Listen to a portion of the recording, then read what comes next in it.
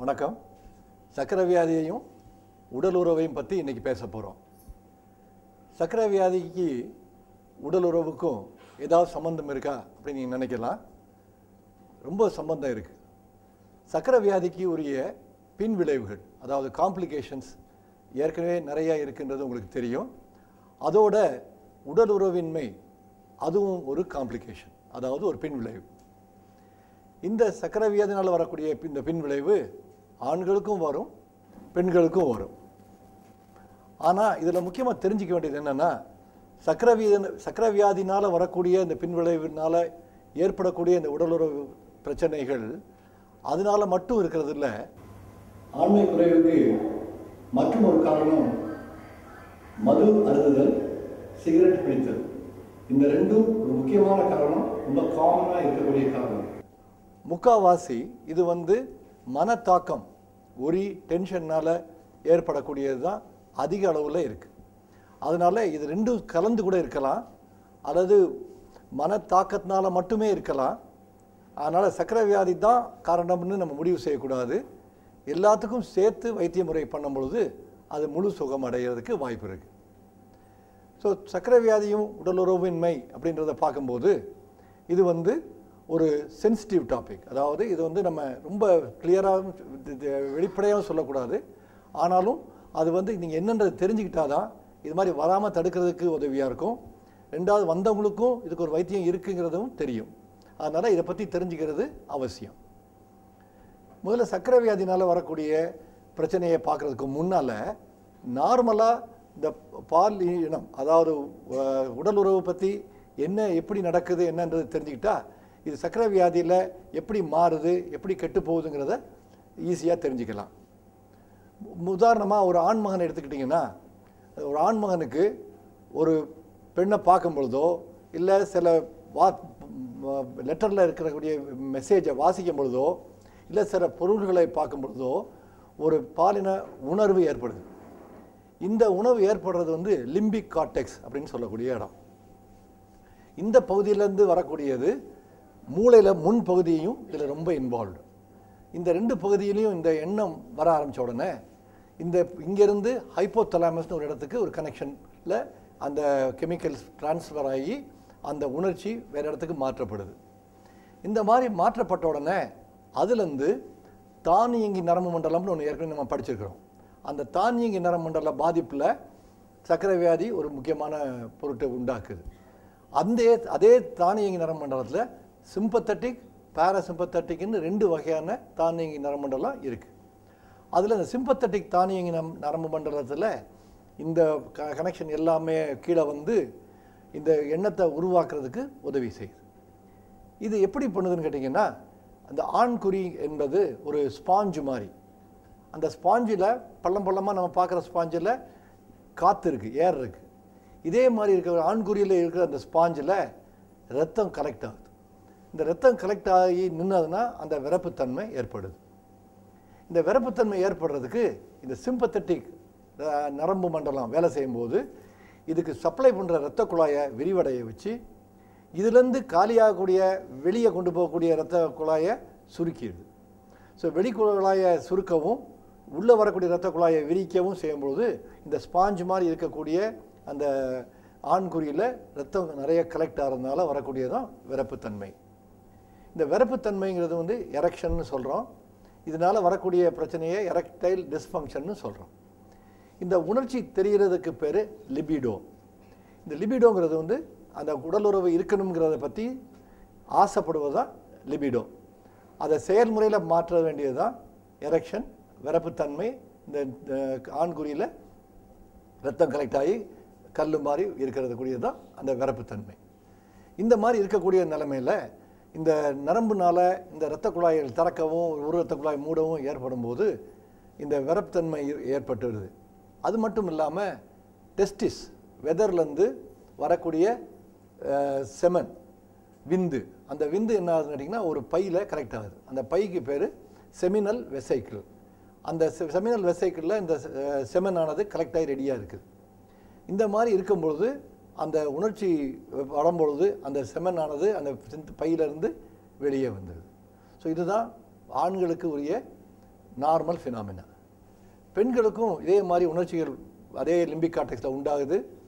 Pre frontal cortex முன்பகமான மூளையில் பகுதியில் அது கலந்து ஹைப்போதலாமஸ்க்கு போய் அங்கேருந்து அவங்களுக்கும் இதே மாதிரி நரம்பு அணுக்களில் சிம்பத்தட்டிக்கில் வந்து அந்த கிளைட்டோரிஸ்ன்னு சொல்லக்கூடிய நீர் போகிற பகுதிக்கு மேலே உள்ள சின்ன ஒரு ஆண்குறி மாதிரியே சின்னதாக இருக்கக்கூடிய அந்த பகுதி கிளைட்டோரிஸுங்கிறது இதே மாதிரி பல்ஜ் ஆகிக்குது அது மட்டும் இல்லாமல் தீட்டு போகிற பாதைகளில் செக்ரீஷன் நிறைய வருது. அது நம்ம ஒரு எண்ணெய் பசை மாதிரி வர வரும்பொழுது அந்த உடலுறவு இருக்கும்போதுக்கு ஒரு லூப்ரிகேஷன் மாதிரி ஆகுது. இந்த ரெண்டும் ஏற்படும் போது அந்த பெண்மணிக்கு வரக்கூடிய உணர்ச்சி தான் ஆர்காசம்னு சொல்கிறது அது வந்து அந்த உண தீட்டு போகிற பாதை அது கண்ட்ராக்ட் பண்ணி ரிலாக்ஸ் பண்ணுது. சுருங்கி விரியுது சுருங்கி விரியுது.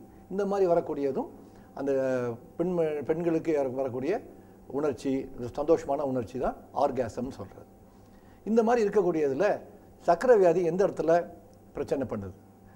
முதல் வகையான இந்த மாதிரி உள்ள இரு நடக்கிறதுக்கு ஆண்களுக்கும் சரி பெண்களுக்கும் சரி ஹார்மோனோட வே- வேலை வந்து ரொம்ப அத்தியாவசியம். ஆண்களுக்கு தேவைப்படுற ஹார்மோன் மேல் ஹார்மோன் டெஸ்டோஸ்டிரான்றதும் பெண்களுக்கு தேவையான ஈஸ்ட்ரஜன்கிற ஹார்மோனும் இருந்தால் தான் இந்த நரம்பு மண்டலம்லாம் சரியாக வேலை செஞ்சு இந்த மாதிரியெல்லாம் நடக்கும். சக்கரை வியாதின்னு வந்த உடனே நிறைய பிரச்சனைகள் எல்லா லெவல்லையும் இருக்குது ஆனால் ஒன்று அந்த உணர்ச்சி தோன்றக்கூடிய அந்த பிரச்சனையில் வந்து எந்த விதமான பிரச்சனையும் வரதில்லை அதனால் எந்த பேஷண்ட்டுக்குமே இந்த மாதிரி விரப்புத்தன்மை இல்லாமல் இருந்தால் கூட அவங்களுக்கு இந்த உணர்ச்சி தோன்றுறது வந்து இருக்கும். அதனால தான் கஷ்டமாகவே இருக்குது. உணர்ச்சியே இல்லைன்னா அவங்க தெய்வீகமாகவே போயிடலாம். பிரச்சனையே இல்லை. ஆனால் உணர்ச்சி தோன்றும். ஆனால் விரப்புத்தன்மை இருக்காது. ஸோ அந்த மாதிரி இருக்கக்கூடிய அந்த நிலமையில் அந்த பேஷண்ட் நிறைய மன அழுத்தத்தினால வரும். அந்த மன அழுத்தத்தினால மேற்கொண்டு அந்த விரப்புத்தன்மை கம்மியாயிரும். இந்த மாதிரி ஒரு விஷஸ் சைக்கிள் அப்படியே ஒன்று ஒன்று ஒன்று கெடுத்து கெடுத்து ஒன்றும் செய்ய முடியாமல் ஒரு நிலைமையாயிரும். சக்கரை வியாதியிலிருந்து ஆரம்பிக்கும் போது இதே மாதிரி வரக்கூடிய நரம்பு மண்டலத்தில் அந்த தானியங்கி நரம்பு மண்டலம் சிம்பத்தட்டிக் வந்து அஃபெக்ட் ஆகிடலாம் அந்த மாதிரி அஃபெக்ட் ஆகும்போது நான் சொன்னேன் அந்த ஸ்பாஞ்சு இந்த பக்கத்தில் ரத்த குழாய் போகிற ரத்த குழாய் இதில் வர ரத்த குழாய். இது பெருசாகணும் இது சிறுசாகணும். அப்போ தான் அந்த உள்ள ரத்தம் அடையும். இந்த மாதிரி வரக்கூடிய நிலைமை வந்து அந்த சிம்பத்தட்டிக் நரம்பு மண்டலம் பாதிக்கிறதுனால ஏற்படுறதில்லை. அப்போ என்னாகும்? இதுக்குள்ளே ரத்தம் வராது விரப்புத்தன்மை இருக்காது. ரெண்டாவது சக்கரை வியாதியில் ஒரு முக்கியமான காம்ப்ளிகேஷன் சொல்லியிருக்கேன். கிட்னி காம்ப்ளிகேஷன் கண்ணு காம்ப்ளிகேஷன்னு அதில் எல்லாத்துலேயுமே வரக்கூடியது என்னென்னா இந்த மெம்ப்ரேன் பி பேஸ்மெண்ட் மெம்ப்ரேன் சொல்லக்கூடியதில் லீக் இந்த மாதிரி லீக் ஆகும்போது அந்த கிட்னியில் உப்பு சத்து சொல்லக்கூடிய புரத சத்து மைக்ரோ ஆல்பமினூரியா வரக்கலாம் கண்ணிலேருந்து க ரத்த கசிவு ஏற்படும் போது கண்ணில் பார்வை இழந்து போகலாம். அதே மாதிரி இந்த இடத்துல இந்த ஸ்பாஞ்சில் வரக்கூடிய இடத்துலையும் லீக் வர்றதுக்கு வாய்ப்பு இருக்குது ஒரு லீக் வந்தால் என்ன ஆகும் இங்கே ரத்தம் நிற்க முடியாது. அப்படி ரத்தம் நிற்க முடியலன்னா பிறப்புத்தன்மை இருக்காது. இது மட்டும் இல்லாமல் ஆண்ட்ரஜன் அதாவது ஹார்மோன் டெஸ்டோஸ்டிரோன்ற ஹார்மோனும் குறையிறதுக்கு ஒரு வாய்ப்பு இருக்குது இதுக்கெல்லாம் மேலே உள்ள ஒரு கிளாண்ட் இருக்குது பிட்யூட்ரின்னு ஒரு கிளாண்ட் இருக்குது அந்த கிளாண்டுக்கு போகக்கூடிய ரத்த குழாயில் அந்த ரத்த குழாயில் சர்க்கரையினால் பாதிப்பு வந்தாலும் அந்த பிட்யூட்ரி கிளாண்டு கெட்டு போயிடும். அந்த பிட்யூட்ரி கிளாண்டு கெட்டு போச்சுன்னா எந்த விதமான ஹார்மோனும் ஏற்படாது உண்டாகாது. அந்த மாதிரி ஹார்மோன் உண்டாகாட்டாலும் இந்த மாதிரி பாதிப்பு ஏற்படலாம். இதுக்கு மேலே இங்கெல்லாம் நல்லா இருந்து நரம்பு மண்டலம் நல்லா இருந்து பிட்யூட்ரி நல்லா இருந்து ஹார்மோன் நல்லா இருந்து எல்லாம் வந்து சேரும்போது அந்த நீர்த்தண்டுக்கு ஆண்குறிக்கு வரக்கூடிய இரத்த குழாய் அந்த இரத்த குழாயே பாதிப்பாயிடலாம் அந்த இரத்த குழாய் பாதிப்பாச்சுன்னா என்ன ஆகும்? அந்த இடத்துல நான் தானிங்க நரம்புடல் வேலை செஞ்சாலும் இரத்த குழாயில் அடப்பு இருந்தால் எந்த விதமான பாதிப்பு இம்ப்ரூவ்மெண்ட்டும் கிடைக்காது. ஸோ இந்த மாதிரி இருக்கக்கூடியதெல்லாம் போக நான் ஏற்கனவே சொன்னேன் மனசில் பயம் ஒரி டென்ஷன் இந்த மாதிரி உள்ள காரணங்களில் அந்த செயலை கரெக்டாக செய்ய முடியாமல் இழக்கிறதுக்கும் வாய்ப்பு இருக்குது ஸோ இந்த மாதிரி இருக்கக்கூடிய சர்க்கரை வியாதியில் ஆண்களுக்கு இருக்கிற மாதிரியே பெண்களுக்கும் அந்த சின்ன இந்த, ஆண்குறி மாதிரி இருக்கக்கூடிய சின்ன பகுதி இருக்கே அதில் கொஞ்சம் விரப்புத்தன்மை இல்லாமல் இருக்கும். ரெண்டாவது தீட்டு போகிற பாதையில் அந்த செக்ரிஷன் அந்த ஆயில் மாதிரி வரக்கூடியது வந்து வராமல் இருக்கும். அந்த மாதிரி இருக்கிறதுனால உடலுறவு இருக்கும்போது அது ஃப்ரீயாக இல்லாமல் வலி கொடுக்கறது கூட வாய்ப்பு இருக்குது ஸோ இந்த மாதிரி சக்கரை வியாதியில் இருக்கிறதுக்கு என்னென்ன பரிசோதனை செஞ்சு நம்ம என்ன லெவலில் இருக்குன்னு கண்டுபிடிக்கணும். இதில் முக்கியமான அம்சம் வந்து நாக்டர்னல் டிமிசென்ஸ்னு சொல்கிறது இந்த நாக்டர்னல் டிமிசென்ஸுங்கிறது வந்து நம்ம ஹார்மோன் உடம்புல உற்பத்தி ஆகிறத பொறுத்து தூங்கிட்டு இருக்கும் பொழுதோ இல்லை விடிய காலையிலையோ அந்த ஆண்குறியானது கொஞ்சம் வெ- விறப்பாகிறதுக்கு வாய்ப்பு இருக்குது இந்த விறப்பு வந்து எல்லாருக்கும் நார்மலாகவே நடக்கும். அதை நம்ம பாதி பேர் கண்டுபிடிச்சிருப்போம் பாதி பேர் கண்டுபிடிச்சிருக்க மாட்டோம். இந்த மாதிரி இருக்குதாங்கிறத டாக்டர்கிட்ட நீங்கள் சொல்லணும்.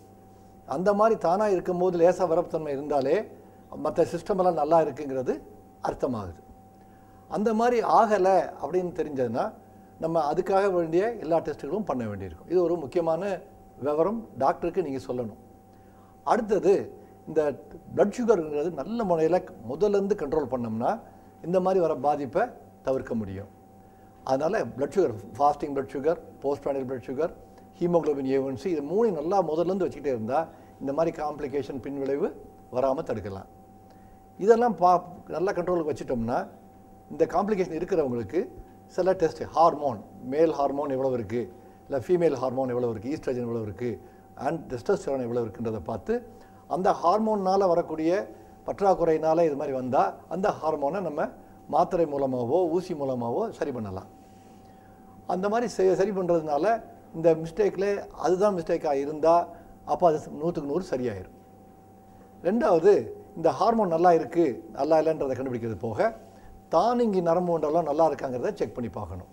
அதுக்குரிய டெஸ்ட்டுகள் பண்ணி அந்த நரம்பெல்லாம் நல்லா இருக்காங்கிறத தெரிஞ்சுக்கிறது மிக அவசியம். நரம்பை பார்த்துட்டோம் பிரெயினில் பார்த்துட்டோம் அந்த கனெக்ஷன் சிம்பத்தட்டிக் நர்வஸ் சிஸ்டம் பற்றி பார்த்துட்டோம்.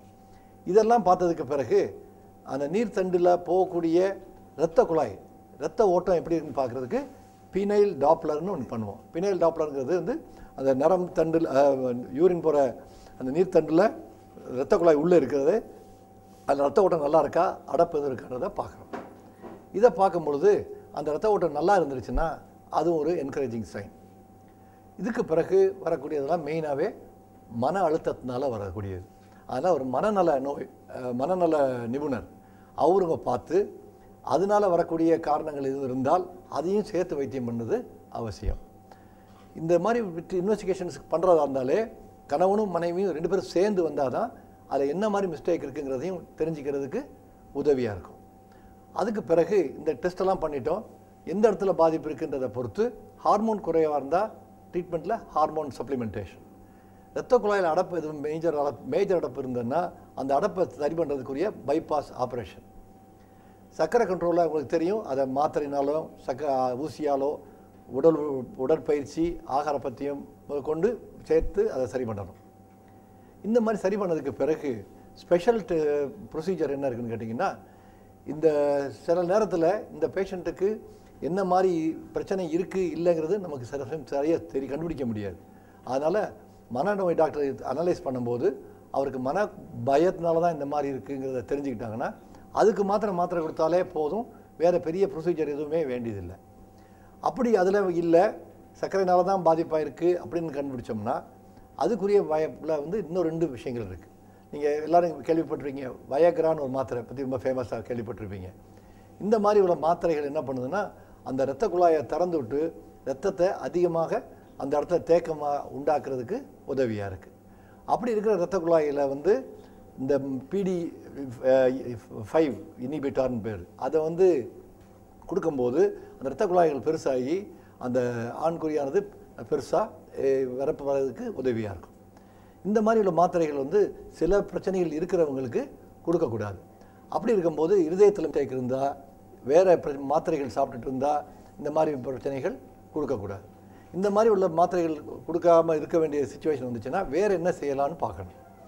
இதுக்கு சில டிவைசஸ் இருக்குது அந்த டிவைசஸ் என்னன்னு கேட்டிங்கன்னா ஒரு கே- பெரிய கேன் மாதிரி இருக்கும். அந்த கேனை ஆண் குறியில் உள்ளே விட்டு அதில் வந்து வேக்கம் ஒரு நல்ல சக்ஷன் போட்டோன்னே அதில் உள்ள க வேக்கம் பண்ணோன்னே அந்த இடத்துல பூரா ரத்தம் சேர்ந்துடும் அந்த ரத்தம் சேர்ந்த பிறகு ஒரு ரப்பர் பேண்ட் மாதிரி உள்ளதை ஸ்லிப் பண்ணி அந்த இடத்துல முன் பின் கடைசி பகுதியில் அந்த ரப்பர் பேண்ட் மாதிரி போட்டோம்னா அந்த எரெக்ஷன் மாதிரி கொஞ்சம் இருக்கும்.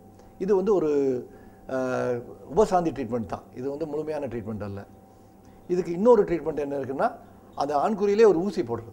அந்த ஊசி போட்டோம்னா என்ன ஆகும்னா ரத்த குழாய் நல்லா நிறைய பெருசாகி நிறைய ரத்தம் வரும். அந்த மாதிரி உள்ள ஊசி போடக்கூடிய வாய்ப்புகளும் இருக்குது இன்சுலின் போடக்கூடிய அதே சிரிஞ்சில் அந்த மருந்து எடுத்து அந்த ஆண்குறியிலே போட்டோம்னா அந்த மாதிரி இருக்கிற விரப்புத்தன்மை ஏற்படலாம்.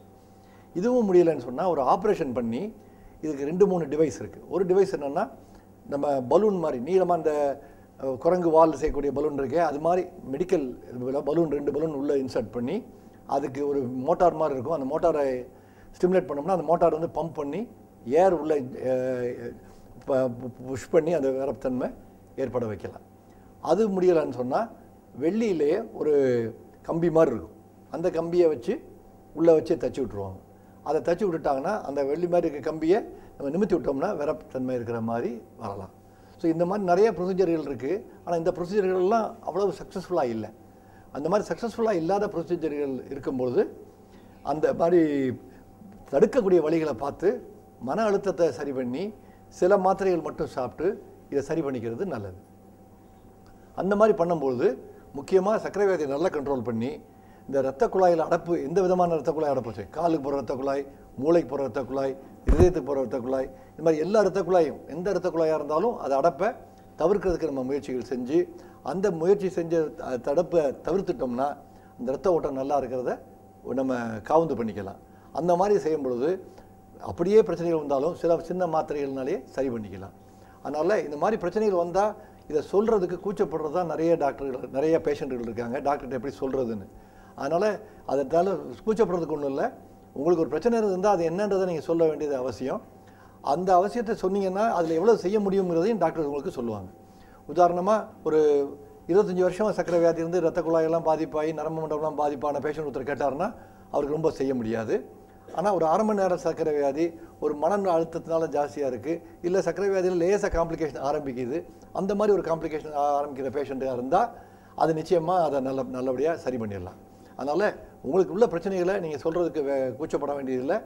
இதை வந்து சில நேரத்தில் என்ன ஆகுதுன்னு கேட்டிங்கன்னா நிறையா நான் மெடிக்கல் பர்சன்ஸ் நிறைய பேசும்போது தவறான மாத்திரைகள் தவறான வழிகள் இந்த மாதிரி உள்ள பிரச்சாரங்களுக்கு இடம் கொடுக்காம நீங்கள் எது சந்தேகமாக இருக்கோ நேராக டாக்டர்கிட்ட கேட்டுக்கிறது வந்து எந்த விதமான தவறும் இல்லை.